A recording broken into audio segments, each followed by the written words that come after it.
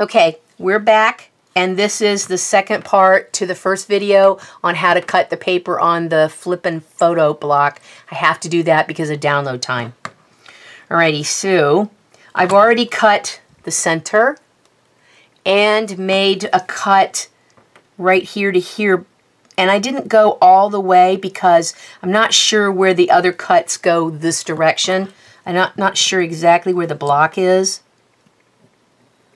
So I just felt it with my fingernail and I got lucky. and don't rake it through the, uh, don't rake it through here because what you're going to do is you're going to cut your paper and you don't want to do that because there might be tape under there and you don't want to cut the tape. So on this side, I opened it up and I did, I did cut to where the block was, so that one's fine. Now I'm going to go, let's see, and I need to do this one. Where's my other, there, I can feel it with my fingernail where the indentation is for the other set of blocks. And because this one is a little easier, I can feel it better. I'm going to stick my knife, well, maybe not. Hmm.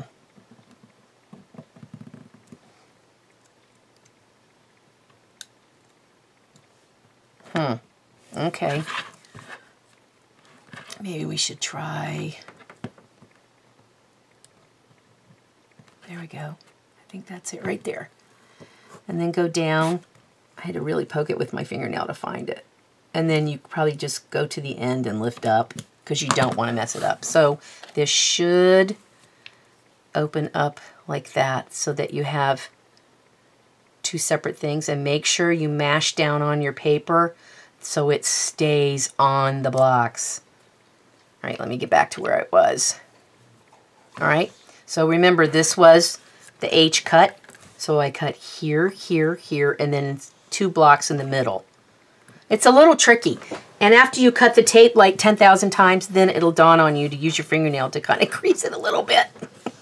All right, so you're looking for other places that need to be cut.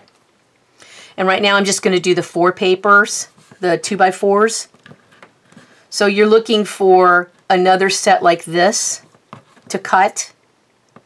Only because you the 2 by 4 2 by 4 papers, the large papers, there's two cuts like this and two cuts like this. So those are the two configurations you need to look for. All right, so there's this.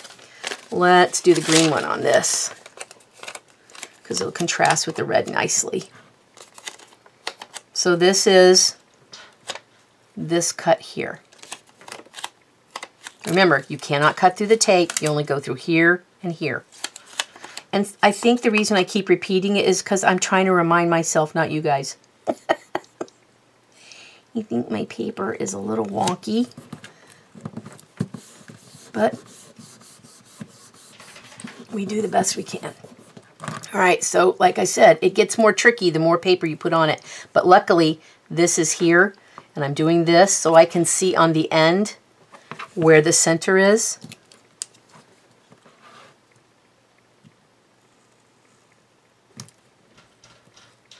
And you just drag your knife through here. Let me do the other side. Put it in the crease and drag it this way so that you can meet the other one down the middle. And I am going to go ahead because it is sticky paper and um, take off, let me put this back down a little bit, take off two more blades because they're very sticky and it'll it catches, whoops, it catches on the paper and it makes it really difficult to cut through the blades. I mean, cut through the paper when it's dragging because it's so sticky. All right, so now we have, whoops, now we have the middle cut. Now we need to do this way. So you have no way of really seeing it. So you can feel with your fingernail where the center is.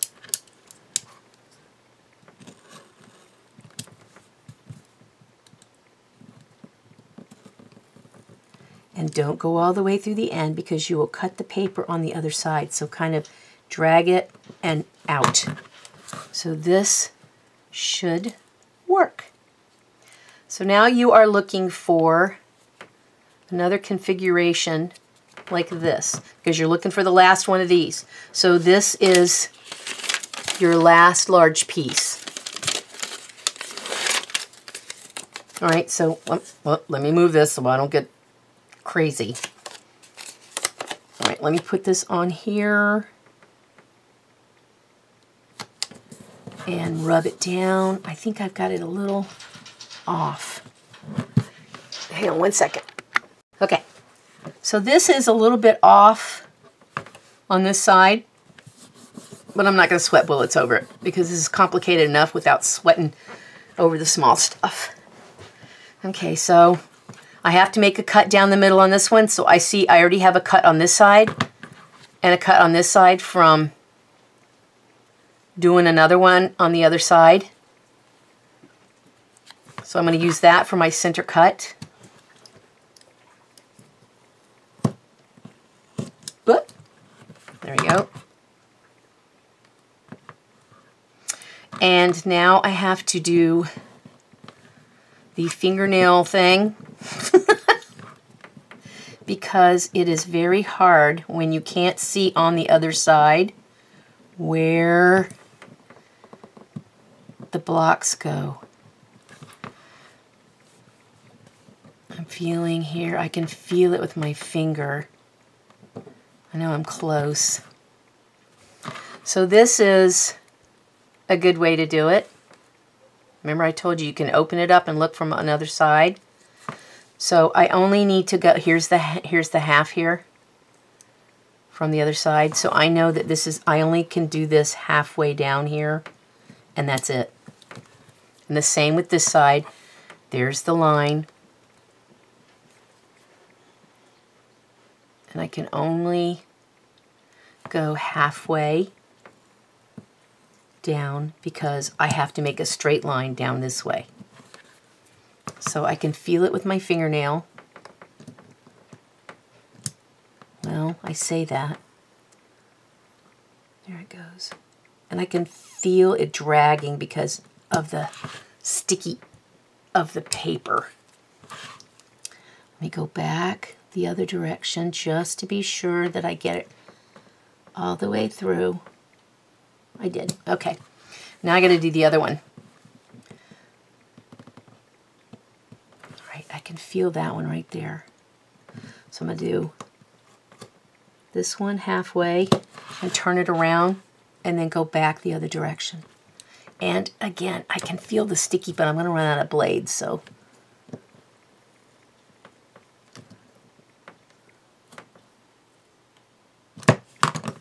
Hopefully this works.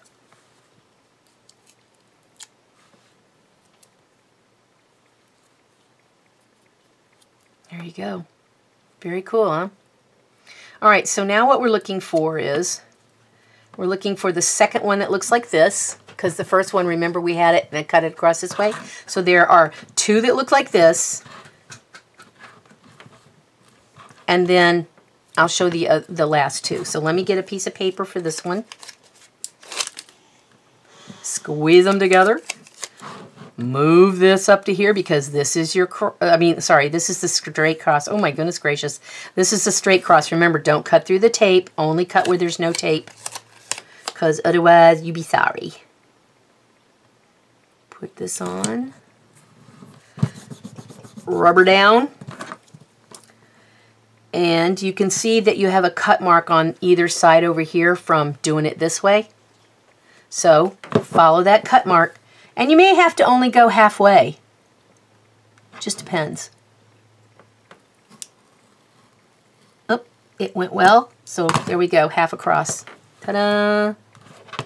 All right, there's that one. Now, there's two more sets of blocks because you still have two of these left. Let me peel this up when I'm talking. So you're going to look for a certain configuration of blocks for the last two pieces of paper to go on. Well, son of a gun, I cannot get this off. Even with long fingernails, sometimes it's just not going to happen. Come on. Well, you little stinker. All right, well, I may have to turn the camera off and try to figure out how to get that one off there. All right, so you keep turning your blocks until you find blocks that have no stuff on them. Like this. There's no tape. You will have two sets of these that have absolutely no tape on them. The cut will be this one because you're going this way and this way. On the long one, it was this way and, you know, longer but it doesn't matter. It's the same kind of cut. So I'm going to use this one because I have it. Mash your blocks together and try to get this on as neatly as possible.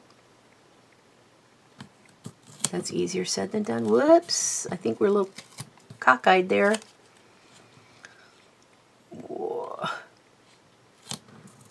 Yep, see I'm a little off on this other side here. Let me turn around this way and try this way. Maybe it's better suited this way. Just a little bit off. All right, rubber down. And remember, it doesn't matter which way I turn this one because it's this cut right here. So I'm, I'm good. I'm not going to cut any tape because there is no tape to cut. All right, and if you turn it, you see there's a cut in the green. So you can find your center for this one because of the cut on the other side where the green is and it should go very well. There you go. This one does not have a cut through it, so this one's going to be a little more tricky, but you're lucky because you have a cut on the red, so you can take it through here and cut it this way. Then turn it this way and again, you have a cut through the red on the other side. So you can cut there. Just don't rake it through the other paper on, on this side because you'll mess it up. All right, so there you go. There's your four squares. Why are they not opening? oh, there they are. And then there's the other one that's the four, the last of the four, because you have two sets of these, remember, because you still have one more of these. And I think I can get this off sometime today before my time is up. Please, please cooperate. I'm, I'm sorry, I'm over here picking this. I'm not just trying to concentrate on getting this off. Doesn't matter what I do to it. That bad boy is not going to come undone. Okay, let me shut this off until I can pick this off and I'll be back. Okay, I fooled around with this and decided I was wasting my time. I'm not going to get it off. And so I moved on to something else, stamped another stamp, and ran it through the Xyron machine so we could move on with this. All right, so you place your paper on the last cube, on the last side of the cube, which is the cross cut or plus cut, whatever you want to call it.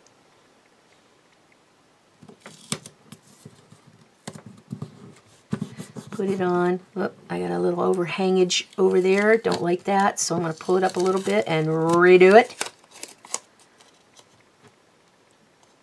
Don't like it when it hangs over the sides. It makes it more difficult for it to fold and move freely. All right, and because this is your last block, you're going to need to look on a side where you can see there's another cut from another side because it's a little hard to tell.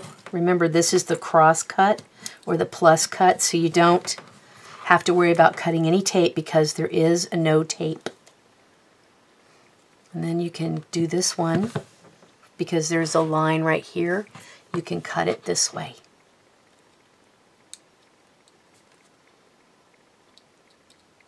Get it in there. Oops, see, I'm going to be careful when you do that because you're going to bend your paper I think maybe I don't want to do it that way. All right, so let's try it all in one swoop.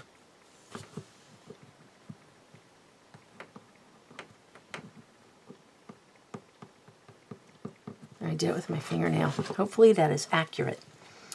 All right, so we're to cut this one here. And guess what? I got lucky. It's about stinking time.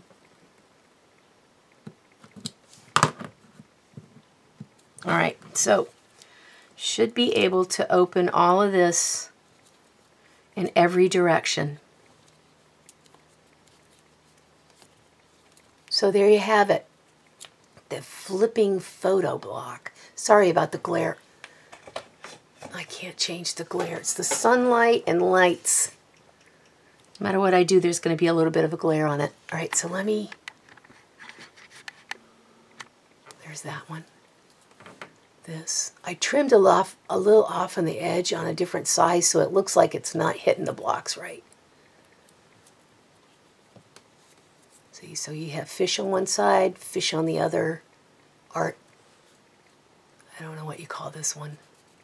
And see, because I did not get the paper really well on the other side from this, you will see overhang in another set of blocks. So be careful when you cut stuff and make sure your blade is really clean and really sharp so that you don't have any of the overhang from other blocks peeking through.